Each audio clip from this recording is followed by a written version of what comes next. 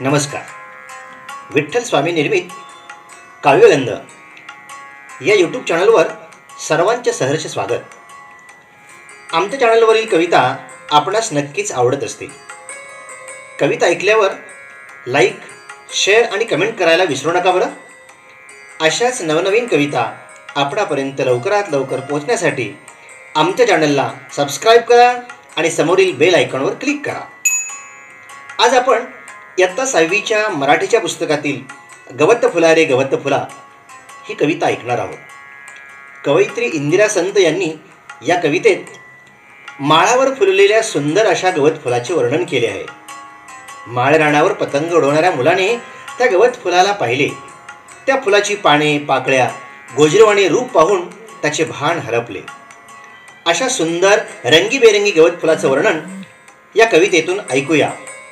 चला तर मग ऐकू गाऊ आनंदे.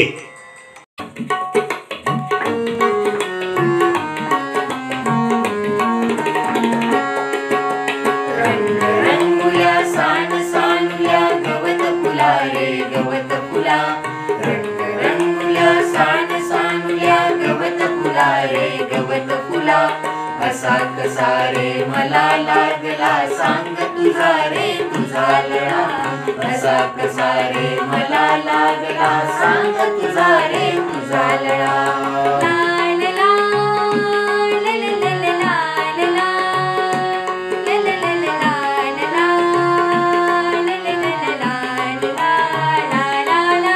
मित्रांसंगे माळावरती पतंग उडवित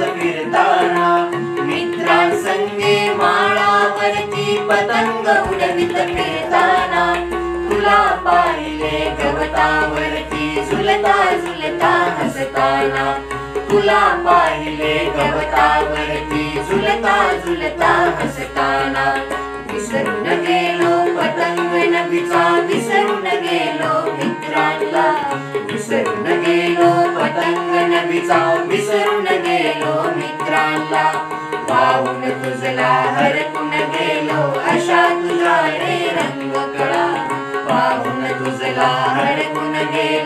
गेलो अशा तुझा रे रंग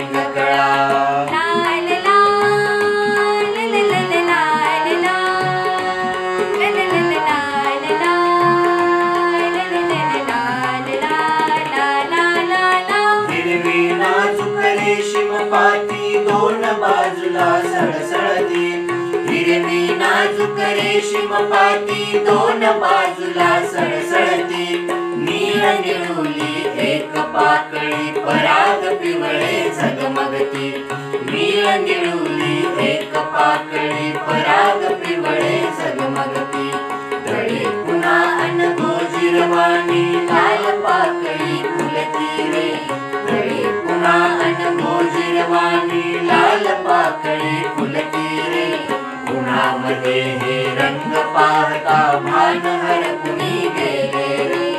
उन्हामध्ये हे रंग पाहता भान हरपुनी गेले।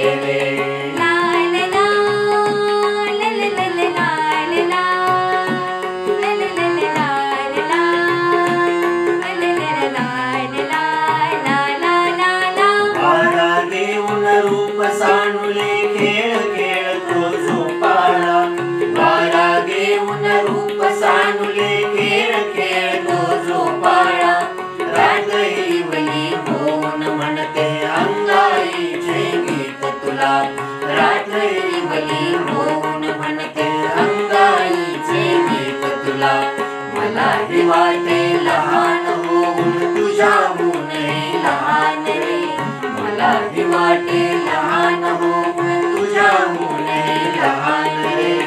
तुझ्या संगती सदा रहावे.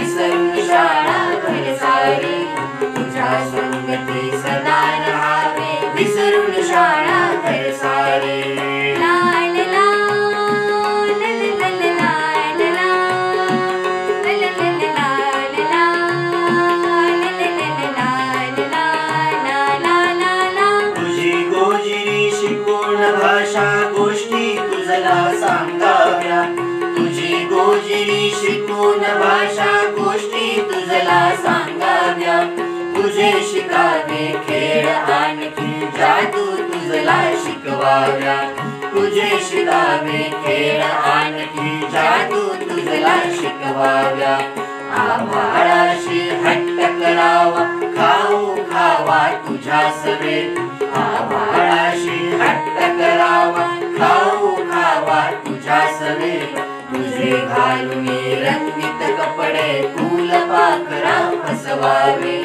तुझे घालून रंगीत कपडे, फूल पाखरा फसवावे। रंग रंगुल्या सान सानुल्या गवत फुलारे गवत फुला। रंग रंगुल्या सान सानुल्या गवत फुला